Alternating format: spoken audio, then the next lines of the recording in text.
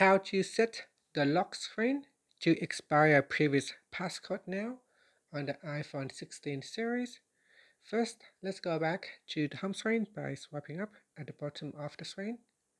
And from the home screen, tap on settings. Now in the settings page, we scroll down and in here tap on Face ID and passcode. Now enter in the current passcode and then we scroll down. In here tap on expire previous passcode now and then tap on expire now and that's it. That is how you can expire your previous passcode when you go to your lock screen. Now you will need to enter in the new password or the new passcode to get access to your device. And that's it. Thank you for watching this video. Please like and subscribe to my channel for more videos.